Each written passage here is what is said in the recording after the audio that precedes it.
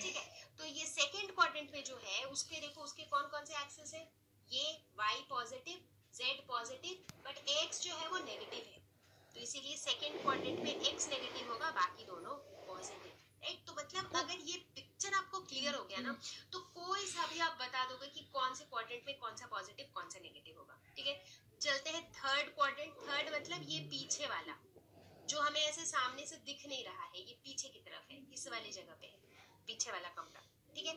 यहाँ पर जो बंदा खड़ा रहेगा, वो हमें कैसे दिखेगा? वो यहाँ से तो दिखेगा नहीं, उसको मैं ना यूँ डॉट डॉट से बनाती हूँ, क्योंकि बेसिकली वो यूँ पीछे की तरफ़ दिखेगा। देखो, ये ग्रीन की तरफ़ से जो अंदर दिख रहा है ना, उस वाली जगह पे वो दिखेगा। तो मैं यूँ डॉट डॉट से बना रही हूँ, यानी कि ये ऐसे सामने से दिख नहीं रहा है बट ये उस तरफ़ है।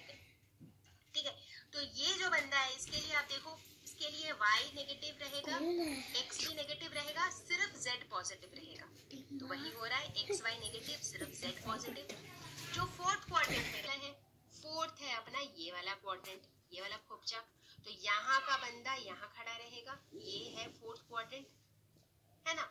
तो फोर्थ क्वाड्रेंट पे जो है उसके लिए y नेगेटिव है x पॉजिटिव है z भी पॉजिटिव है तो सिर्फ़ y नेगेटिव है।